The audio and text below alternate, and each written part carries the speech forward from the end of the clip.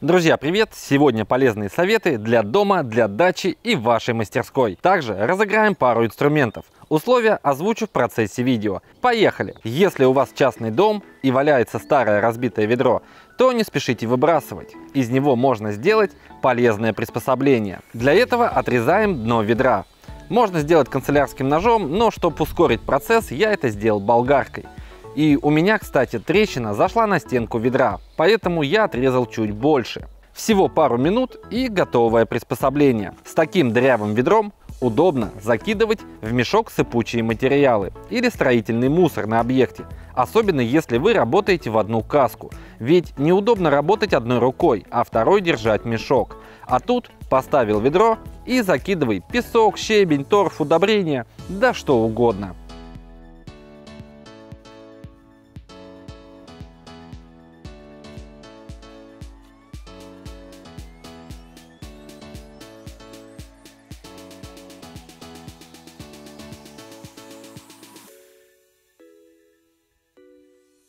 Я продолжаю строить дом и занимаюсь отделкой.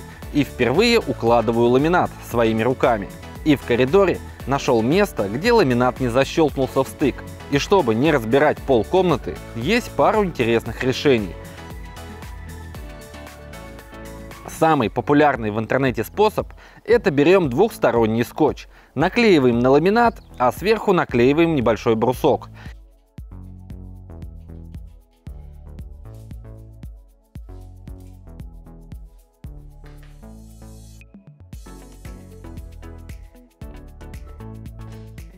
И аккуратно, не спеша легкими ударами молотка, мы защелкнем ламинат аж через тройку панелей. Но не у каждого в доме есть под рукой двухсторонний скотч, поэтому я решил протестить свой способ. Наклеиваем на ламинат обычный скотч или малярную ленту, да что угодно, лишь бы с одной стороны защищал покрытие ламината и также держался за него. Затем беру монтажную пену, наношу на поверхность и приклеиваю брусок –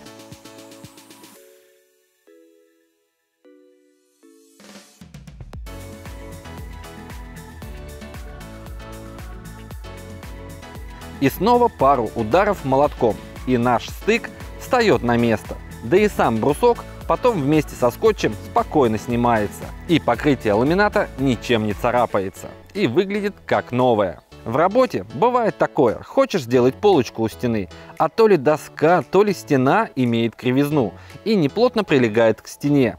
Сделать единую плоскость очень легко. Берем обычную шайбу и карандаш – Прикладываем к стене и проводим линию.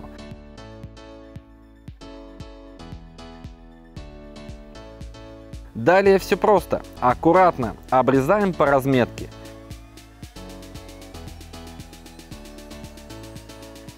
И вот готовый результат.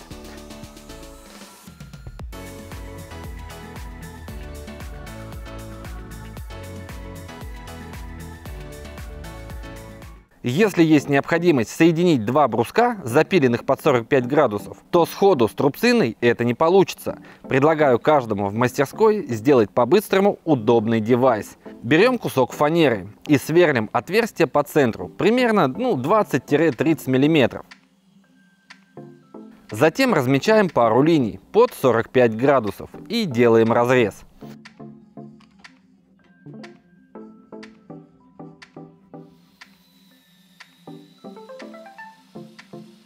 По итогу у нас получился быстро простой девайс для удобства зажима заготовки для склеивания.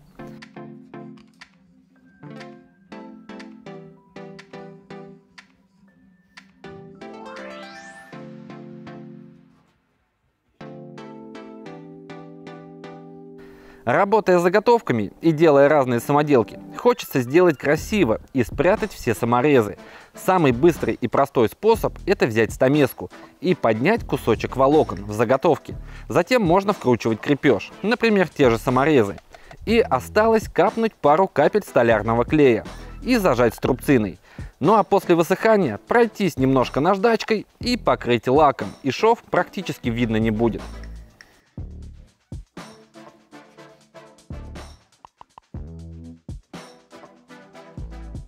Струбцина в мастерской очень нужная вещь, и много их не бывает. Имея два бруска и тройку струбцин, можно по-быстрому сделать столярные тиски. Для этого один брусок зажимаем двумя струбцинами, прикладываем второй и закрепляем заготовку.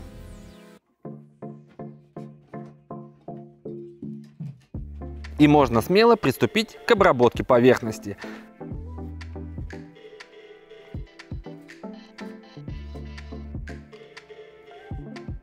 И также струбцина очень хорошо помогает переносить различные вещи, особенно если что-то плохо лежит.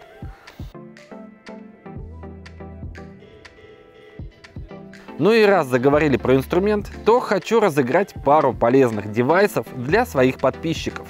Условия просты. Поставить лайк этому видео и написать комментарий, какой полезный совет вам понравится, или предложить свой. И также быть подписанным на меня и на мой live-канал. Условия и ссылки есть в описании. Победителей озвучу через две недели и доставка за мой счет. Удачи, а мы едем дальше. У меня есть мангальная зона и часто готовим покушать, но вот чистка посуды или тоже самой коптильни, ох как раздражает. Да и руки потом то в жиру, то в масле, приходится долго отмывать. Для удобства чистки сделаем по-быстрому простую щетку с ручкой. Для этого я взял старый скребок, у него резинка была уже стерта, и я чуть-чуть обрезал лишнее. Также буду использовать пару металлических губок, ну и также болт с гайками и барашек. Конструкция проста до безумия. Сверлим отверстие согласно диаметру болта и просунем болт через губки и закрепим барашком.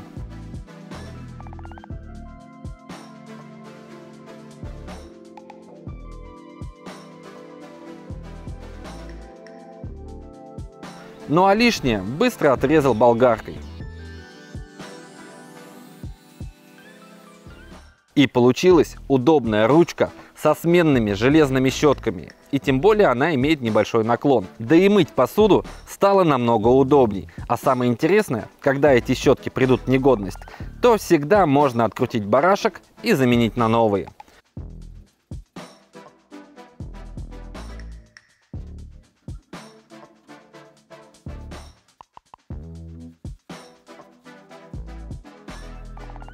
У меня есть небольшое хозяйство, десяток курочек и так пара-тройка ушастых зайцев. И покупая корма для них и складывая в сарай, нередко приходят гости и дырявят мешки сквозными отверстиями. Со временем даже пришлось купить пару бочек для хранения корма. Но чтобы выселить жильцов из сарая, есть простой дедовский метод. Вот вам простая мышеловка за 2 минуты из обычного ведра.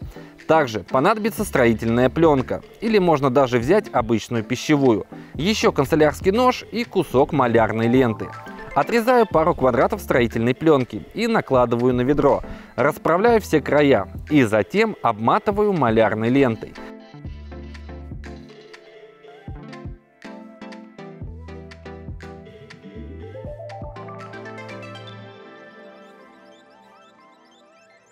Центре делаю небольшое отверстие. Ну и чтобы края не свисали, закрепляю на скотч. И вот наша ловушка готова. Идем в сарайку, засыпем немножко дробленки и результат будет на 100%. Это уже проверено временем. Вот такие идеи и советы на сегодня, друзья. Пишите свои комменты, поставьте лайк и подписывайтесь на канал. И обязательно жмите колокольчик.